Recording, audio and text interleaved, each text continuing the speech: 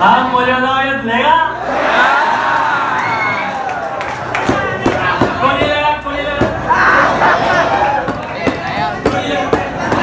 अच्छा।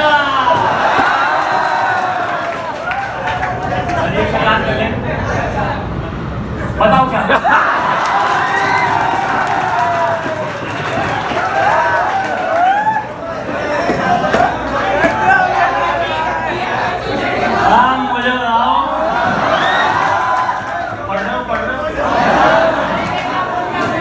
पुराना कार्य